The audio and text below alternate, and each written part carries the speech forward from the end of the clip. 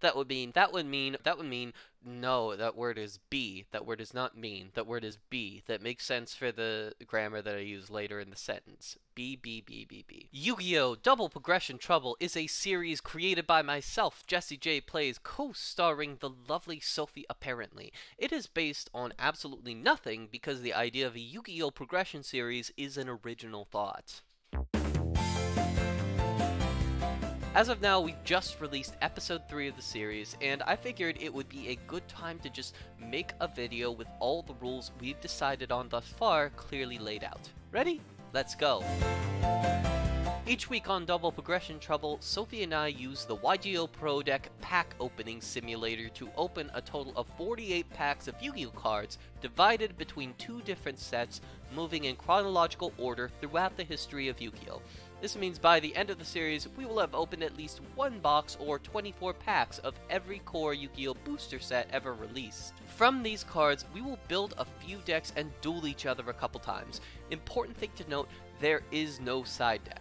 That's right, to give us more freedom to explore our collection, we are allowed to change every single card in our deck between games if we so desire, rather than just limiting ourselves to the 15 card side deck traditionally allowed in a match of Yu-Gi-Oh! The reason we chose to play this series without a side deck is that the card pool goes through some changes between each game. After game 1, both players are allowed to use one ban to take problematic cards out of the card pool. Also after game 1, the winning player gets to open 4 packs of cards from any set we have opened up to that point, while the loser is allowed to open 2 consolation packs. The winner of game 2 gets to open another 2 packs. The game 2 loser doesn't get any more packs, but can still reevaluate her deck.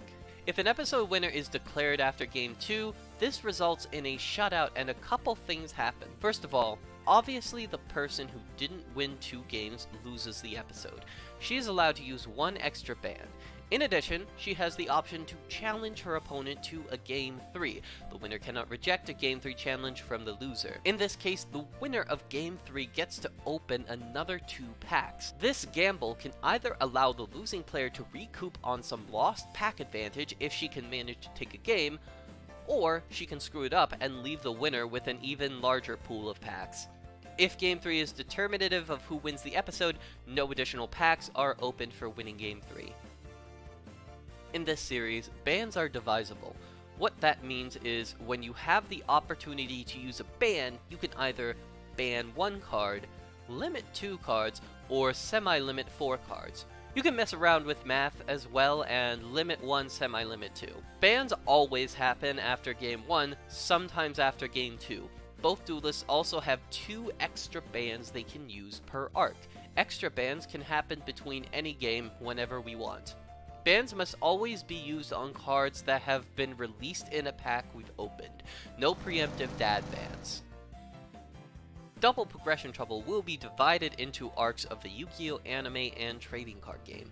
That means after we're done with the DM era, a winner will be declared based on who has the most points, and our scores will be reset to zero before moving into the next era. Each arc, we will do pack opening episodes until we're out of packs, and then we will do a season finale episode where we will use an actual side deck and play an actual match of Yu-Gi-Oh!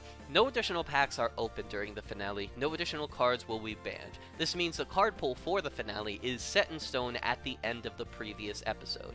Any episode won before the finale is worth 1 point. Winning the finale is worth 3 points. The player with the most points after the finale wins the season. Additionally, both players get to start the next season by opening one extra pack for each point they accrued in the previous season. Draws are a fucking nightmare. That hopefully won't happen, but just in case, here is our plan. We're never gonna do a double progression trouble where we play four games. That would probably be a long episode and create a lot of pack opening questions. Instead, I'm gonna say that a draw counts as a win for both players. That means a draw in game 1 means both players get 4 packs, and a draw in game 2 means both players get 2 packs. If there is a draw in a post-shutout game 3, both players, again, get 2 packs. If a draw causes both players to win their second game simultaneously, that means we both win the episode and we each get a point. I'm also going to say anytime there is a draw, both players get a ban after the game. If there does seem to be a self-destruct button or something similar in the format that's a problem, I'd like it to only be a problem once. If the draw occurs during game 1, this draw ban is in addition to the game 1 ban, meaning that yes, both players get two bans if someone pulls off a draw in game 1. This is kind of interesting. What do we do if we run into an arc with an odd number of packs? Kinda defeats the purpose of it being double progression trouble if something like that can ruin the math. This question isn't actually relevant in the DM era. For right now, we're working with a nice even number. 14 sets of Yu-Gi-Oh cards were released during the Duel Monsters era. For those of you keeping track at home, this means Season 1 of DPT will run 8 episodes, including the finale. For future seasons, here's the idea I've come up with. Since this isn't relevant in DM, this is by no means set in stone, and feel free to let me know your feelings in the comments about a rule set like this one I'm about to describe popping up in the future, whether those feelings are positive or negative. Basically, the idea is odd number buffet. That means in our final pack opening episode of the season, we first open 24 packs of the final set of the era, and then we open another 24 packs consisting of at least one pack from every set of that arc.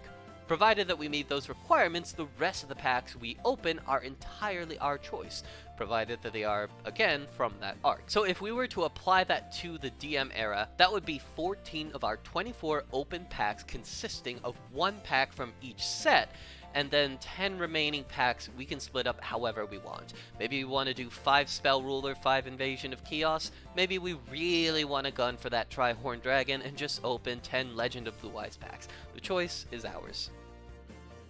Between arcs, Sophie and I will meet up and create an entire deck's worth of banned cards. We each pick 20 cards from the era just passed and ban them outright. No dividing bans either. Here, we actually have to choose to remove cards from the format completely. I want to do this to allow us to focus more on the new hotness in each subsequent arc of DPT. As funny as it is to be a year and a half deep into a progression series and still owning your opponent with Dark Hole, I think there's value to letting the DM staples lie in DM and so on. I want to thank everyone who has been supporting DPT up to this point. Your positivity and excitement for new episodes just adds to the enthusiasm I already have for doing this series with Sophie. If you enjoy a DPT, or you found this video informative, or you stuck around because you find me compelling, consider leaving a like and giving that subscribe button a smack. That's right, baby, I want you to smack that sub. Keep an eye out for DPT Episode 4 coming to this page Friday, May 20th. I'll see y'all then.